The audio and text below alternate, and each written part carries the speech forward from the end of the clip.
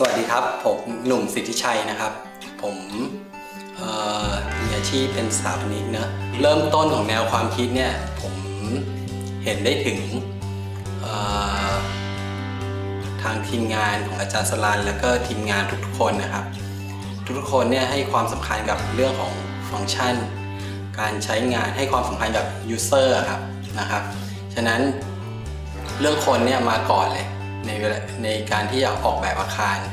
พอเห็นตรงนี้เนี่ยเรื่องรูปร่างหน้าตาเรื่องดีไซน์อะไรเนี่ยมันตามมาทีหลังนะครับนะครับ พอฟังก์ชันมันนำมาเนี่ยมันเหมือนกับคอนเซปที่ว่า form follow function นะครับ คือเอาฟังก์ชันนำไปก่อน เดี๋ยวหน้าตาเป็นยังไงเนี่ยผมอธิษฐานให้พระเจ้าเนี่ยจะเปิดเผยอีกที ก็ให้พระเจ้านำไปแล้วสุดท้าย หน้าตาของคานมันก็ออกมา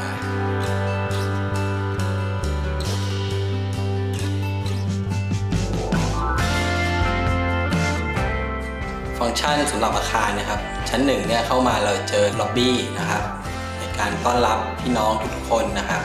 แล้วก็จะมีในส่วนของออฟฟิศนะครับ ห้องให้คำปรึกษานะครับห้องสำหรับพี่น้องทุกคนมีร้านกาแฟ มีร้านที่ขายที่ระลึกนะครับ ร้านกาแฟเนี่ยมันค่อนข้างที่จะอเนกประสงค์นิดนึงนะครับ คนภายนอกก็สามารถที่จะมาใช้บริการได้ นะครับในเบื้องต้นนะครับ แล้วก็จะมีของฝากของที่ระลึกนะครับพี่น้องสามารถมาสอบถามประชาสัมพันธ์นะครับ ทั้งหมดทุกๆเรื่องนะครับได้ที่ชั้น1นะครับพอขึ้นมาชั้นชั้น2เนี่ยเราก็จะเจอกับคิดจักเด็กนะครับ ซึ่งในการออกแบบอาคารเนี่ยเราให้ความสำคัญกับเรื่องของความปลอดภัยนะครับ น้องๆคิดจักเด็กทุกคนนะครับจะได้ การดูแลนะครับ ในเรื่องของความปลอดภัย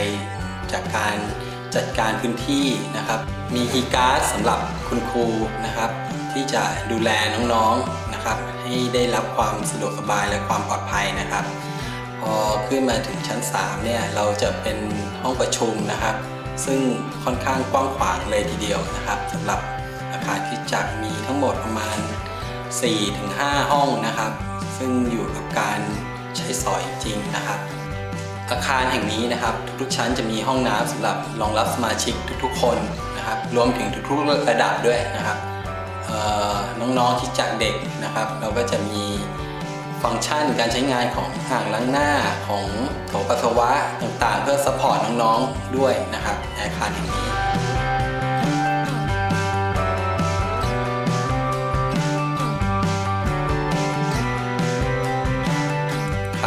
สุดท้ายนี้นะครับ ผมเชื่อว่าอาคารแห่งนี้นะจะเป็นพระพรกับพี่น้องทุกๆ คนนะครับ ที่จะมาใช้ประโยชน์ แล้วก็เป็นพระพรกับทุกๆ คนนะครับ อยากให้ทุกๆ คนนะมีส่วนร่วมและมีความตื่นเต้นไปด้วยกันที่จะเห็นอาคารแห่งนี้เกิดขึ้น